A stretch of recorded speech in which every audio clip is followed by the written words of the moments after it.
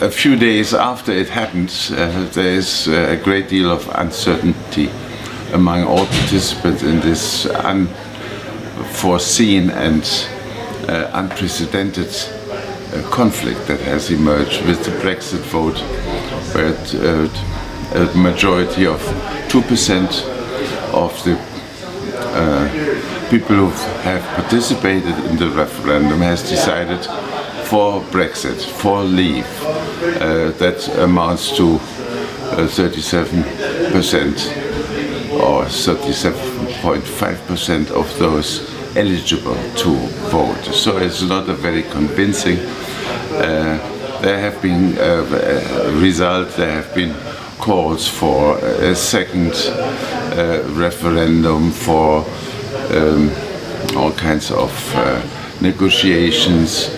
Uh, it is uh, at this point uncertain what is going to happen. The reaction of Germany was a bit um, uh, divided between those who uh, want to demonstrate that um, this is out means out and as fast as possible. the tough line uh, which is motivated by the consideration that if you are soft on Britain in this situation, others will be tempted to follow the British uh, example. On the other hand, uh, the loss of Britain uh, from the uh, EU will be a major blow, and that is increasingly seen uh, by the governing elite in Germany. It will be an, a, a, serious blow, a loss that uh, should, if it is all, at all possible, uh, prevent it from materializing, and therefore there is a considerable hope that um, the uh, definitive Brexit with uh, Article 50 with negotiations with an uncertain status of a post-EU Britain can be averted and can be still uh, avoided. I think at one week after the uh, event, it is too early to make a prediction on what the final outcome is. Uh, my feeling is, my impression from today's news is that um, there is uh, a very lively debate going on behind the scenes between these two uh, tactics that can now be applied.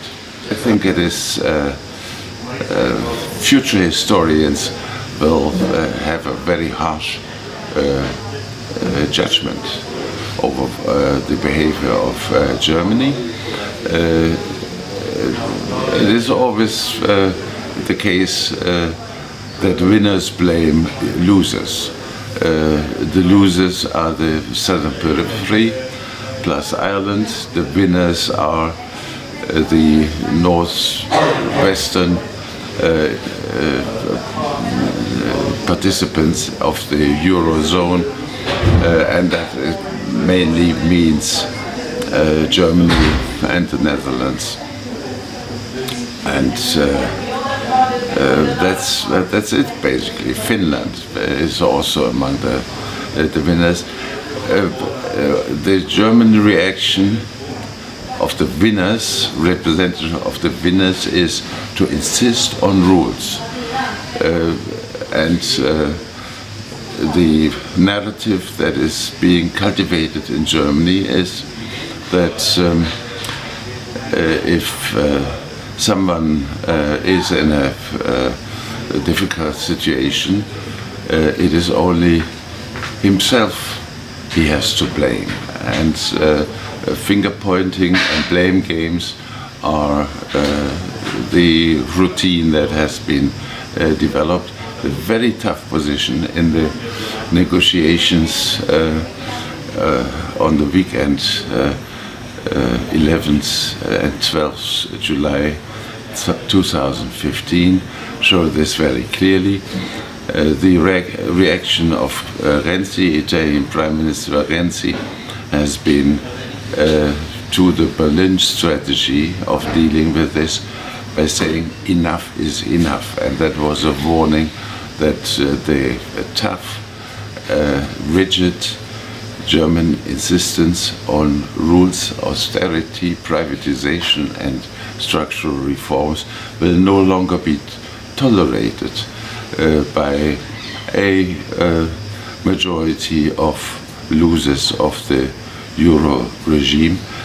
A, a, compromise is not yet in sight, but among others, uh, the results of this conference that we had here with ELIAMEP uh, have shown uh, that uh, new solutions, new ways out of the dilemma between uh, the winners and the losers are urgently needed and are worth the effort of all intellectuals, elites, and